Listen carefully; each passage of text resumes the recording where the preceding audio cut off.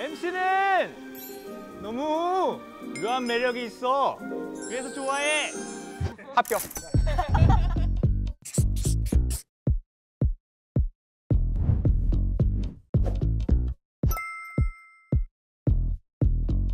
심장이 터질 것 같아요. 디데이 MC에 왜 지원하셨나요? 디데이 때문에 창업을 시작하게 돼가지고 스타트업들을 빛나게 하는 거 굉장히 전 잘한다고 생각을 합니다. 우려되는 부분이 긴장한 대표님들이거든요. 저 상상만 해도 벌써 눈물이 나는데 와. 대표님 심호흡 한 번 딱 하시고 멘트 그냥 발사! 그런 분위기를 좀 끌어올릴 수 있는 필살기 어떤 게 있을까요? 귀여움을 보여줄 수 있는.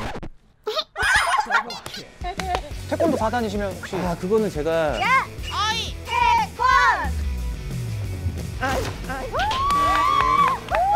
저 목소리 진짜 큽니다. 좋습니다. 손 위로 벌려서 한번 쭉 펴서 등 쫙 조여줄게. 쫙. 을사늑약과 정리늑약을 강제로 제격해야 한 죄. 근데 이번 디데이만의 특별한 점을 어렵다. 좀 순발력이 좀 거치고 분위기도 좀 뒤에 박혀있는